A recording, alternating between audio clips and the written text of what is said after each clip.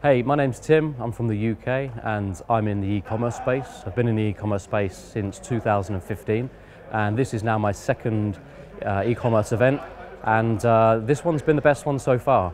Um, liked a lot about it. The speakers were excellent. Every single one of the speakers gave fantastic value. I enjoyed the format of asking questions this year, uh, being able to submit them via app, which is kind of better, I think, than a microphone.